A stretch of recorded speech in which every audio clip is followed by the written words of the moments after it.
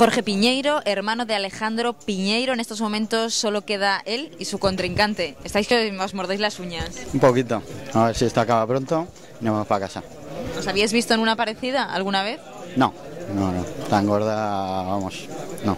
No, porque nos ha dicho que suele jugar sobre todo online y que en este tipo de torneos no tiene demasiada No, experiencia. no, no, no. Nada. Por ahora no, pero vamos a ver si esta es la primera de muchas.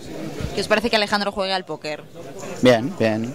Tenemos un familiar que juega bastante también, online. Y nada, jugamos todos un poquito. O sea, que es de familia. Bueno, más o menos se puede decir así, sí. Cuando reunís, eh, organizáis timbas Sí, pero más caseras, más caseras. Pero sí, de vez en cuando se juega.